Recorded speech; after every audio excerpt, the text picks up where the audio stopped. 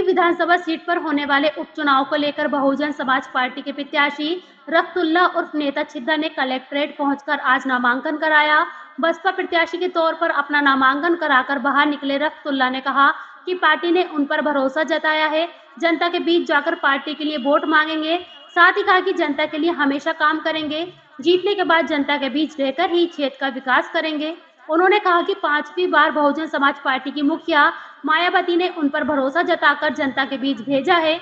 उत्तर प्रदेश के जनपद मुरादाबाद की विधानसभा कुंदर की सीट पर उपचुनाव की तारीख का ऐलान हो गया है। सभी प्रत्याशियों ने अपना दावा सीट पर ठोक दिया है। हालाँकि अभी सपा और भाजपा पार्टियों के प्रत्याशियों के नाम सामने नहीं आए हैं, लेकिन बहुजन समाज पार्टी ने अपने प्रत्याशी जनता के बीच उतार दिए हैं।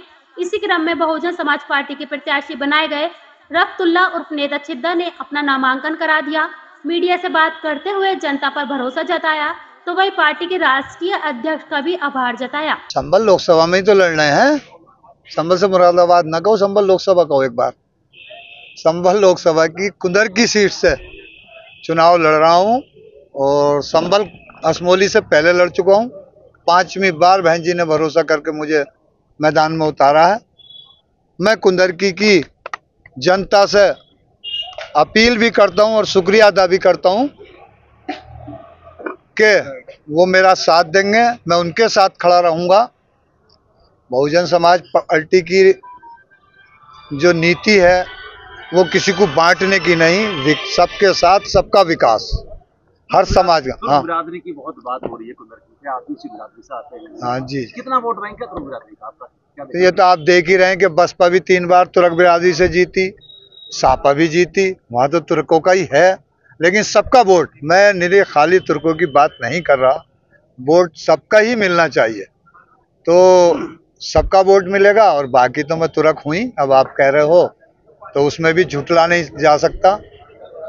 तो मैं तुर्कों से भी उम्मीद रखा हुआ हूँ और सब लोगों से उम्मीद रखा हुआ हूँ वो चाहे खा खासा बिरादरी हो या जो भी बिरादरी हो सबसे मेरी यही उम्मीद है कि वो मेरा साथ देंगे मैं उनके साथ खड़ा रहूँगा उनके दुख दर्द में उनके विकास के लिए जो भी मेरे बस की होगा उसे आधी रात तैयार रहूँ सपा सपा ने सपा ने सपा ने आपको हाँ। आपकी पार्टी को कटवा वोटर कह दिया है हाँ। कल हमारी बात हुई है यहाँ हाँ। सांसद पूर्व सांसद स्टेशन वो कह रहे कट वोट काटने के लिए आए आप लोग वो यही कहते रहेंगे, पता चलेगी उन्हें अब।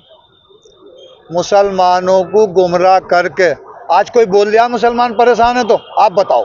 उनके राष्ट्रीय अध्यक्ष भी हैं, कई जगह झगड़े भी हुए हैं।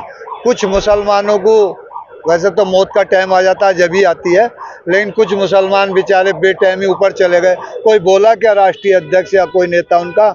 वही एस टी हसन जो यहाँ पर आज कह रहे हैं आपको।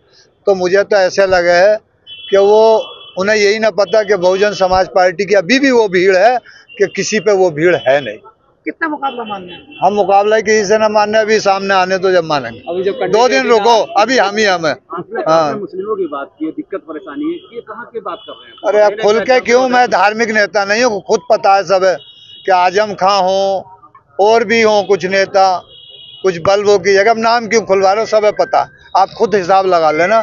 कहीं बोले हों अगर वो राष्ट्रीय अध्यक्ष अब आएँगे यहाँ पर पता चलेगी अभी हेलो।